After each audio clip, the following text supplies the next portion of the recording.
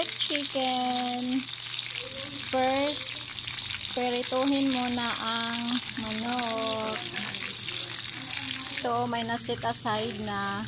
And then mamaya, lutuin ulit siya para maging garlic chicken recipe. Okay, nanata diri sa ikaduha nga stage. Lunod nat, ilagay natin ang butter. Yan o, oh, isit aside ang sugar, then i-mix sa water. I-dissolve siya ang sugar sa water. Yan. Tanga sa kawali ito ang na-dissolve ng sugar with water. Kailangan siya malaut. Dissolve ka og cornstarch with water. Then, alonod siya dire. Yan.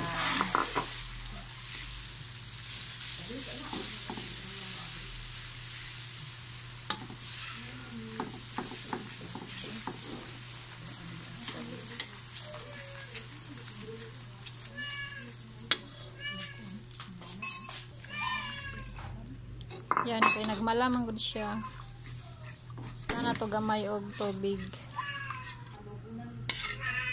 Next, ilunod na nato ang naprito na nga manok. Yan. Then, em ato din siyang i-mix.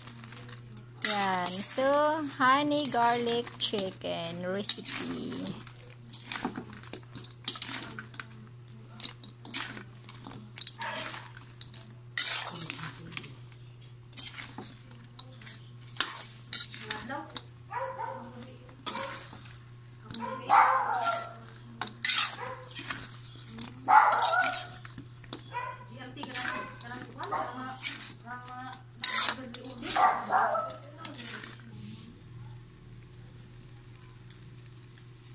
Ready to serve.